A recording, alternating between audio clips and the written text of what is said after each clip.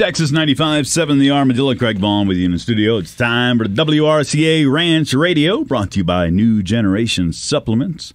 Got uh, Lehman Wall in here, along with Casey Hooper from the WRCA.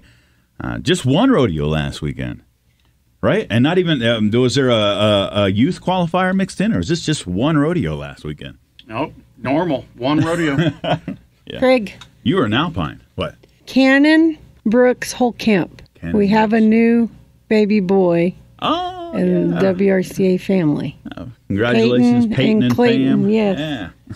Yeah. She was happy to get that. That Uh-huh. said, squirt that thing out, but didn't.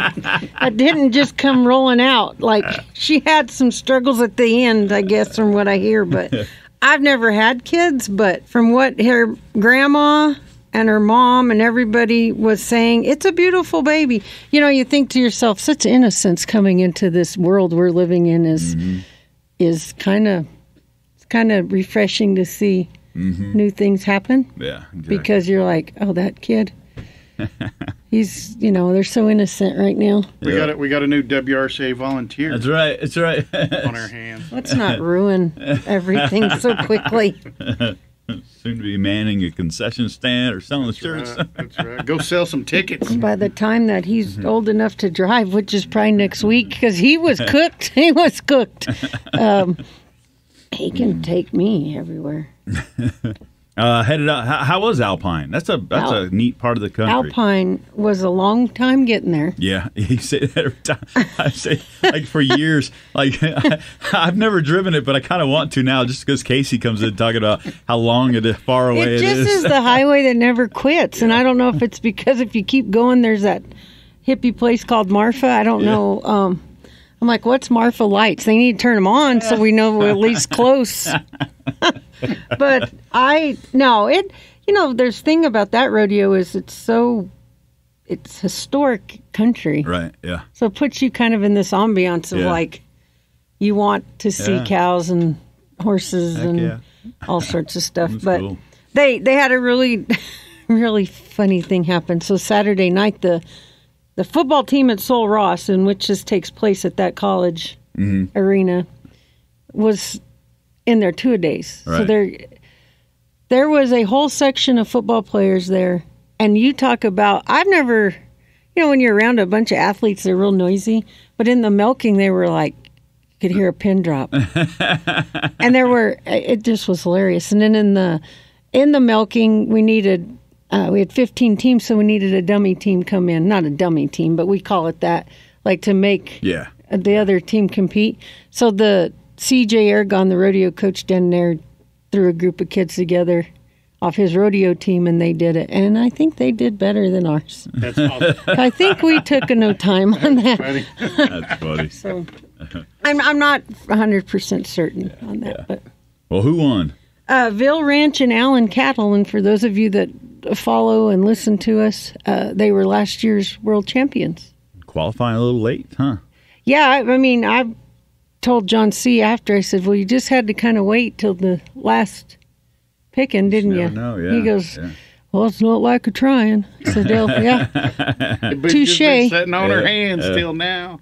yeah, yeah." But anyway, and then second place was Mule Shoe Hatchet, which you might have heard that name. They had won at the Lowell Gimmer Memorial Ranch Rodeo. They ended up second, and then third place was Myrick Land and Cattle.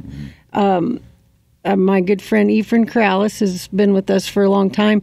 He wasn't there, but kudos to his son. He is airborne uh, ranger now, Oh, wow. and he had to go get him graduated, Yeah. and he's headed to Fort Bragg. Cool. So thank you for that service. that is pretty cool. Way to go. That's pretty cool. And fourth place because I know they're not going to get a lot of glory because it's fourth, and he, Philip will be like, "Gosh, dang, it's fourth place." But I'll tell you what, M uh, Circle M8 did a heck of a job, and one of their cowboys on that team, Jade Smith, won top hand. And to win top hand at Alpine, Texas, is kind of like. I guess the like winning the super like it's it's a yeah. big big big honor and his face he was like the joker on batman he was a continual smile when he got off his bronc which i sent a picture out he's on that white horse um, he did not stop smiling That's cool. until Saturday. Well, he was still smiling when he was taking all his loot That's home cool. with him. That's pretty cool. He got good reason. He- In the bronc riding, he was uh, he won it Friday night and was third Saturday. Yeah. that's a heck of a. Well, he needed it. He it was just like a young kid getting that boost. Yeah. You know, Yeah. It just uh, everyone was so happy for him. He could have came out with a rewrite and everyone was happy for him. That's awesome. Just that kind of kid. And then um, top horse, uh, rode, ridden by Rhodey Wilson. And go ahead, Lehman, with your scientific names. well, it's not scientific. It's proven fact. Proven That's fact. by record. But uh, you know how Craig likes these names. I like these names. Metallic Outlaw. Woo! Isn't that cool? Yeah. Yeah, I mean, it top could, horse sponsored by our friends at Horse Lick. He could have his own logo, like metallic owl. Well, that- Kinda like, does, like, a- actually. He like probably- black, he silvery probably black does. Metallic gunmetal. it's his tail looked better than my hair. But um, so we're calling John C. Bryan. Shut he's, up. He's weaning this morning, so he might not have the best sales. oh, I thought his teeth were coming in. So he is about to be done weaning. I mean, he's weaning.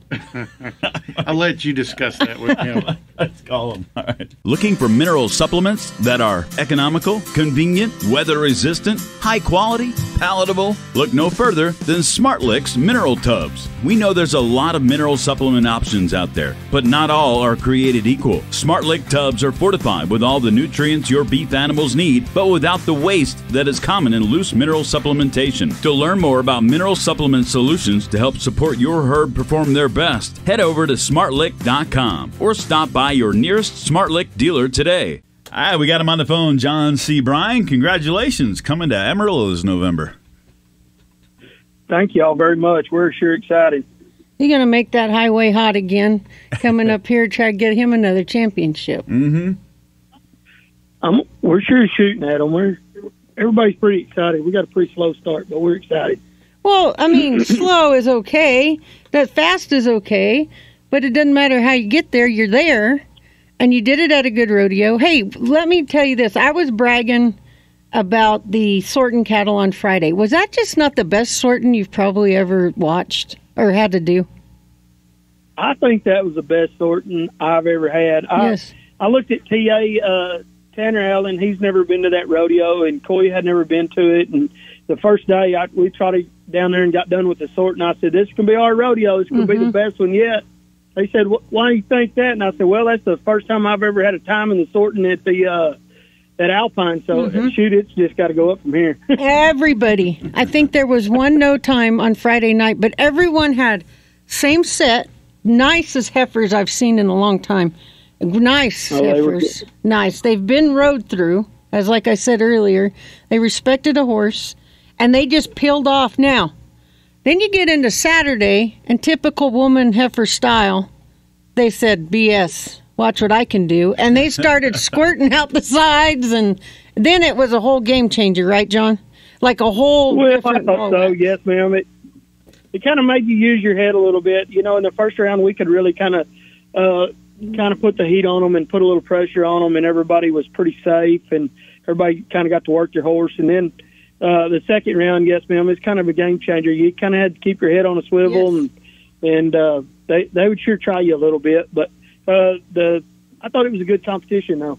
It let you show your abilities. Absolutely, absolutely. And the milk and you guys came out and you got milk and you won that event. We did that. We uh, they're good good cows, and Mhm. and uh, we had a real good. I, I mean, I thought it was. I thought the stock was was good throughout the whole rodeo. So tell me this. So Coy and Tanner had never been there.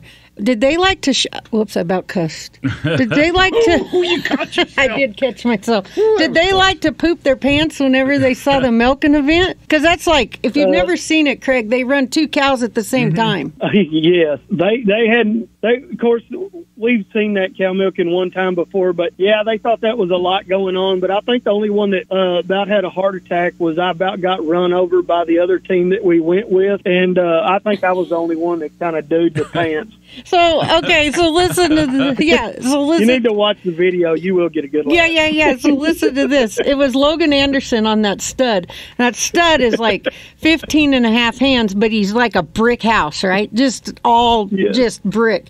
And I see John C. and Logan's trying to hold up and he's got John C. in front of him, But John C. can't see out of this cave of front end on this beast. and he's like, what the heck? Was like a freight train getting ready to just hit John C. And Logan was trying to hold up that stud. I was like, oh my gosh, this is entertaining. But they won. Sorry to, it, they won the milking, you did. So it, it I owe worked Logan a good. beer for not running me over. Oh, yeah, we would have had to take you out on a that.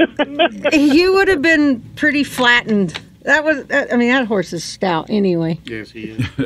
I, I just want to congratulate Cutter for getting second in the bronc riding at a really tough rodeo. So make sure and give Cutter the the attaboy for me, John C. I gave him. I did give him the attaboy. I'm. Uh, I'm real proud of that young man. He's uh, uh he's already he's a full grown man, but he's he's uh, one of our favorites. Everybody loves him, and he is the biggest asset to our team. He is. When he crawled in the, of course, we're all sitting there taking a deep seat, you know, and here it is coming down to the nut cutting on this bottom end of these broncs, right? He gets in there, and everyone's nervous, and I know John C. and I were nervous, and Cutter goes, he gets my halter, my halter, and I'm like, seriously, gate open. it was on. So when he, and I do mean he rode that bronc. It wasn't no hands down. He rode that bronc. But everybody, when he got off, was like, "Your halter? What the heck? Your halter?" Jacob Lewis was trying to help him get out on that horse. I Yeah. guess he was uh, kind of fouling him in the chute. Didn't really want to He did. play. Yeah. The, didn't really want to play the game. And Jacob took his uh, neck rope and helped pick that horse up and helped us out. And Mm-hmm. in the meantime, pulled his halter off. And Yes. anyway, Cutter did a good job of lifting and didn't turn him loose. Oh wow! There was a few choice things, but yeah, everybody rallied together. Everyone rallied together. They, you know, Cutter followed the uh, W.T. Waggoner guy, and he drew a horse that was like insanity. And then it, so everyone's camaraderie was up, and everyone was just like, "Thank God that's over! Yay! Let's go have cold beers." They were a tough pin of horses. I thought they were real tough Saturday night. I thought they were uh, really a tough set of broncs for the toughest I'd seen down there as a whole for a Saturday night. Well, he won. He won Saturday night, and like you say, just commend him for being so productive in the bronc riding. When you got such, there, there's a lot of good bronc riders in that pen uh, down there. I will. Alpine. He had, he had a good night. We, that night, that Saturday night, Cutter, had, you know, he won the round in the branding, and he roped his heel steer real fast. And he won the bronc ride, and he had a really good rodeo on Saturday night. And I was proud of him. I was real proud of him. That's awesome. Well, you guys He's were. top hand in our book. He, he Yeah. should be. He should be. You were second in the bronc riding, won the cow milking, fourth in the doctor, and tied for third in the branding, second in the sorting. That's about as solid as you can be across the board, Casey Hooper. Yeah, that's about as consistent. That's actually where you want to be. I mean, unless you're going to win out and get every event won. But John C, that's where you want to be with that kind of result because oh, that's consistency. and I was perfect. Now I'm, I was really glad. I think we were coming into the Saturday winning third, and we're better when you kind of back us in a corner. We're not. We we get along better when somebody has to hustle us a little bit. Mm-hmm. Well, I think you knew in the back of your brain that you had Ace and Logan off of Mule Shoe kind of creeping. And I'll tell you, who had a good rodeo. They they came undone on Saturday in a in, in the benefit. Friday had their toes a little stubbed, but then on on Saturday was Ephraim's team, Myrick, because they were creeping. They were inching away, inching away. Doctoring got some people, huh? The Doctoring kind of took everyone out of But the game. They they they did. They it got a bunch of them. They got a little tricky to kind of sort out uh, the second day, and Yes. uh, of course, I think everybody starts the second day. I think everybody starts feeling rushed, and they're trying to win and trying to make something happen instead of sometimes. Sometimes we'd like to say we're going to make it happen, but sometimes you just got to slow down and let it You bet. happen. You bet. And I don't know if you know this, Craig and Lehman, but so they used rope and steers, good rope and steers. Look where we are. We're by the Mexican border. So it's not like they were, but they'd been roped a time or two. So you sort them out, and all these steers would find a straight track. So guys that can rope, every one of them there was just about to throw their head loop. Oh no, it would like do a backflip, turn around, run back, do a. I mean, it was like, what the hell? It, it was good rodeo. Congrats for getting qualified, and and here we go to defend that world championship. So I'm sure y'all are ready. I know it. I'm just glad when we get to trot up in the entry in, in the grand entry last this year, we actually get qualified, so I don't have to show up to trot in and then go sit in the cheap seats the rest of the term. Well, you do what We're you want. struggling. You do what you need to do because it's a clean slate. Doesn't matter how you get here. You got here, and now it's open book. So see what We're, happens. we're excited. John C. Congrats. We'll be hollering at you. Thank you very much. Y'all have a blessed day, and thanks for having us. Looking for mineral supplements that are economical, convenient, weather resistant, high quality, palatable? Look no further than SmartLix mineral tubs. We know there's a lot of mineral supplement options out there, but not all are created equal. Smartlic tubs are fortified with all the nutrients your beef animals need, but without the waste that is common in loose mineral supplementation. To learn more about mineral supplement solutions to help support your herd perform their best, head over to smartlic.com or stop by your nearest Smartlic dealer today. All right, well, we mentioned top horse and top hand already, so I guess that leaves us with what's coming up. What with what's next Yeah, what's on the next? radar?